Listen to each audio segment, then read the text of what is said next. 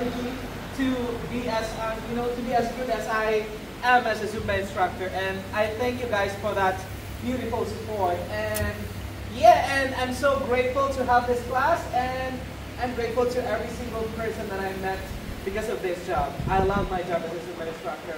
And yeah, and I hope that you guys would also be able to continue um, supporting all the Zumba instructors. Yeah. Yeah, because you guys have also a beautiful role for us Zumba instructors.